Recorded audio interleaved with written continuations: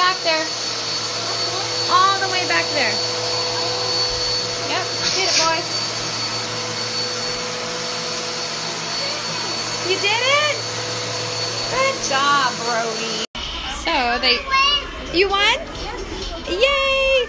They took away the playset at McDonald's outside, and they replaced it with a bunch of tablets attached to the wall. And initially, I don't like it. I'm pretty sure my decision is garden waterers. Evan's watering potatoes and bell peppers and red onions. And Brody will water tomatoes. There's Alara. Tomatoes and broccoli and artichoke. Where is my Prince Charming? Brody, baby, will you please come sing with me?